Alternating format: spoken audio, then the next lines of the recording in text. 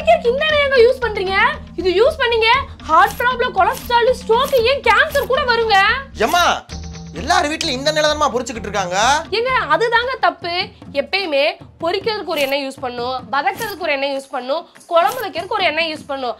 அதை விட எண்ணெய் வாங்கும்போது அதுல நல்ல கொழுப்பு இருக்கான்னு பார்த்து வாங்கணும். இன்னும் முக்கியமா அது எப்படி தயாரிச்சிருக்காங்கன்னு தெரிஞ்சுட்டு வாங்கணும். அப்படி என்ன யூஸ் பண்ணாதாங்க ஆரோக்கியம்? மா பொரிக்கிறதுக்கு வதக்கிறதுக்கு குழம்பு வைக்கிறதுக்கெல்லாம் ஒரே எண்ணெய் தான் யூஸ் பண்ணுவாங்க எல்லாரும். தனித்தனி எண்ணெய்லாம் கிடையாது. ஏங்க அப்படி பண்றதுனால தாங்க ஏகப்பட்ட பிரச்சனை வருது.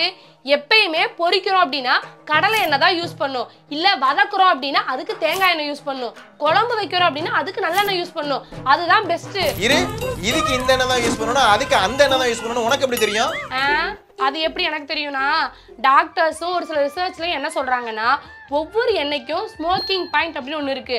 அது என்னன்னா எண்ணெய் வந்து புகையிற தன்மை. அந்த புகையிற தன்மை கடல் எண்ணெய்க்கு கொஞ்சம் அதிகமாக இருக்கு. நம்ம யூஸ் பண்ணுறது தேங்காய் எண்ணெய் கடலை எண்ணெய் நல்லெண்ணெய் இந்த மூணு தானே? இந்த மூணையும் பார்க்கும்போது கடலெண்ணெய் தான் ஸ்மோக்கிங் பாயிண்ட் அதிகம். மற்ற ரெண்டு எண்ணெயிலையும் ஸ்மோக்கிங் பாயிண்ட் அதை விட கம்மி. அதனால தான் பொறிக்கிறதுக்கு நம்ம கடல் எண்ணெயும் மற்ற வதக்கிறது குழம்பு வைக்கிறதுக்குலாம் மற்ற ரெண்டு எண்ணெய் யூஸ் பண்ணுறது பெஸ்ட்டு சரிம்மா. இப்போ வீட்டில் வாங்கி வச்ச கடலைன்னா காலியா போயிருச்சு. இப்போ வீட்டில் அவசரத்துக்கு வேற என்னதான் இருக்கு? அதை ஊற்றி பொறிச்சா உடம்புக்கு பிரச்சனை வருமா என்ன? ஆமாங்க பிரச்சனை வரும். நான் சொன்னேன்ல கடலை எண்ணெயில தான் ஸ்மோக்கிங் பாயிண்ட் அதிகம்னு. இப்போ நீங்க மத்த எண்ணெயை நீங்க சூடு பண்ணீங்க அப்படின்னா ஸ்மோக்கிங் பாயிண்ட்டை விட அதிகமாக போயிடுச்சுன்னா அதில் இருக்க நல்ல கொழுப்பு எல்லாமே கெட்ட கொழுப்பாக மாறிடும் அதுதான் பெரிய பிரச்சனையை ஏற்படுத்துது. இதை விட என்னன்னா ஒரு தடவை பொறிச்ச எண்ணெயை நம்ம திரும்பவும் திரும்பவும் பொறிக்க யூஸ் பண்ணாதான் அது இன்னும் ரொம்ப கெடுதல்.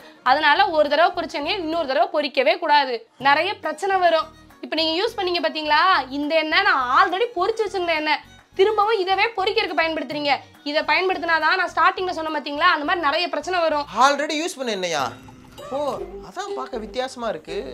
அது சரிம்மா. இவ்வளோ எண்ணெயை யூஸ் பண்ணி பொரிக்கிறோமே இப்போ இதை ஒரு தடவை தான் யூஸ் பண்ணுன்னு சொல்ற. அப்போ இவ்வளோ எண்ணெய் வேஸ்டா வேஸ்ட் ஆகாதுங்க. ஒரு தடவை பொறிச்ச எண்ணெயை திரும்பவும் நம்மளுக்கு எந்த பிரச்சனையும் வராத மாதிரி எப்படி யூஸ் பண்ணணும் அப்படின்றத பத்தி நம்ம தேநீர் இடைவெளியில ஒரு வீடியோ போட்டிருக்காங்க. அந்த வீடியோவை பார்த்து இந்த எண்ணெயை அப்படி நம்ம யூஸ் பண்ணிப்போம். அதானே? இவ்வளோ எண்ணெயா வேஸ்ட் பண்றது? அது சரி. ஏதோ நல்ல கொழுப்பு இருக்கிற எண்ணெயா பார்த்து வாங்க சொன்னியே. கொழுப்புனாலே கெட்டதானம்மா ஏங்க அப்படிலாம் இல்லைங்க. உங்களை மாதிரி தான் நிறைய பேர் கொழுப்புனாவே கெட்டதுன்னு நினைச்சிட்டு இருக்காங்க கொழுப்புலயே நல்ல கொழுப்பு இருக்கு கெட்ட கொழுப்பு இருக்கு. இப்போ கெட்ட கொழுப்பு அப்படின்னா சாச்சுரேட்டட் கொழுப்பு அப்படிம்பாங்க. இதே நல்ல கொழுப்பு அப்படின்னா மோனோ அன்சாச்சுரேட்டட் கொழுப்பு பாலி அன்சாச்சுரேட்டட் கொழுப்பும்பாங்க. இதுல பாலி அன்சாச்சுரேட்டட் நல்லது மோனோ அன்சாச்சுரேட்டட் ரொம்ப ரொம்ப நல்லது. ஸோ இதெல்லாம் இருக்க மாதிரி தான் நம்ம பார்த்து வாங்கணும். ஏன்னா இந்த கொழுப்பு எல்லாமே நம்மளோட மூளை வளர்ச்சி தசை வளர்ச்சி நம்ம ஹார்ட்டுக்கும் ரொம்ப நல்லதுங்க. இப்போ நம்ம ஒரு எண்ணெய் வாங்குறோம் அப்படின்னா அதில் மோனோ அன்சாச்சுரேட்டடும் பாலி அன்சாச்சுரேட்டடும் அதிகமாக இருக்க மாதிரி பார்த்து வாங்கணும். சேச்சுரேட்டட் ஃபேட் கம்மியாக இருக்க மாதிரி பார்த்து வாங்கணும். இப்போ தேங்காய் தான் எடுத்துட்டோம்னா அதில் சேச்சுரேட்டட் ஃபேட் அதிகமாக இருக்கு. இருந்தாலும் அதில் லாரிக் ஆசிட்னு ஒரு விஷயம் இருக்கனால அது உடம்புக்கு ரொம்ப நல்லது. இந்த மாதிரி தாங்க ஒரு எண்ணெய் பார்த்து வாங்கி யூஸ் பண்ணணும். ஓ அப்போ கொழுப்புல நல்ல கொழுப்புலாம் இருக்கு. ஏமா அந்த நல்ல கொழுப்புலாம் நம்ம சமைக்கிற எண்ணெயில் இருக்கா? இருக்குங்க.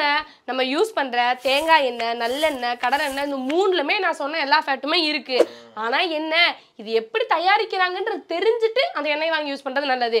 ஏன்னா தயாரிப்பு முறையில் அந்த சத்தெல்லாம் இல்லாமல் போக வாய்ப்பு இருக்குது முன்னாடி காலத்துலலாம் என்ன பண்ணுவாங்கன்னா பாகை மரத்தால் செஞ்ச செக்கெல்லாம் வச்சு எண்ணெய் எடுப்பாங்க. அந்த மாதிரி எடுக்கும்போது அந்த எண்ணெயில் எல்லா சத்தும் இருக்கும். அதுக்கப்புறம் என்ன பண்ணிட்டாங்க? சுத்திகரிக்கப்பட்ட எண்ணெய்னு சொல்லி அதில் ஹெக்சேன் அப்படின்ற ஒரு வேதிப்பொருளை கலந்து அதுக்கப்புறம் எண்ணெய் எடுக்கிறாங்க. அப்படி எடுக்கும்போது அந்த சத்தெல்லாம் குறைஞ்சிரும். அதுக்கப்புறம் ப்ளீச்சிங் பண்ணுவாங்க. இன்னும் அந்த சத்தே இல்லாமல் போயிடும் அப்புறம் என்ன பண்ணாங்க? ஒரு மெஷின் மூலியமாக அதெல்லாம் எடுக்க ஆரம்பித்தாங்க மெஷின் மூலியமா எடுக்கும்போது அந்த எண்ணெயில ஹீட் ப்ரொடியூஸ் ஆகும். அப்படி ஹீட் ஆகும்போது என்ன ஆகுதுன்னா அதில் இருக்க சத்தெல்லாம் குறைஞ்சிரும். அப்ப செக்கில் ஆட்டின எண்ணெயில தான் நான் சொன்ன மூஃபா பூஃபான்ற சத்தெல்லாம் இருக்கும். அதுதான் உடம்புக்கு ஆரோக்கியம். அந்த எண்ணெய் தான் யூஸ் பண்ணணும். ஆக மொத்தம் செக்கில் ஆட்டின எண்ணெய் தான் நல்லதுங்கிற. அதுலயே ஒரு ட்விஸ்ட்டுங்க ட்விஸ்டா ஆமாங்க இப்போ செக்கில் ஆட்டின என்ன நல்லதுன்னு சொல்லிட்டு எல்லாரும் வாங்க ஆரம்பிச்சிட்டாங்க. ஆனால் அதுலேயே கலப்படம் தான் நடக்குது. அதனால நம்மளுக்கு தெரிஞ்ச இல்லை இவங்க கரெக்டாக தான் பண்ணுவாங்கன்ற மாதிரி தெரிஞ்ச கடையில் தான் போய் செக் என்ன வாங்கணும். அப்படி இல்லைன்னா என்ன நம்ம வீட்லயே கடலை இருக்கு எள்ளு இருக்கு தேங்காய் இருக்கு இது எல்லாத்தையும் போட்டு நம்மளே போய் ஆடிட்டு வந்தோம்னா அது இன்னும் நல்லா இருக்கும்ல? நம்ம யூஸ் பண்ணலாம்ல?